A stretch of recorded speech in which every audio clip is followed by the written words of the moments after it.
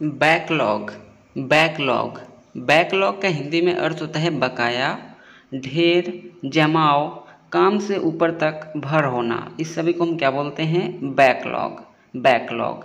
आइए हम इसको एग्ज़ाम्पल के थ्रू समझने का प्रयास करते हैं, इसका यूज़ कैसे होता है। एग्ज़ाम्पल आपके सामने a huge backlog of work had built up यानी कि काम का एक बड़ा बकाया जमा हो गया था। दूसरा एग्ज़ाम्पल है आपके सामने। We are faced with the backlog of orders we can deal with यानी कि हमें ऑर्डरों के ढेर का सामना करना पड़ रहा है, जिनसे हम निपट नहीं सकते।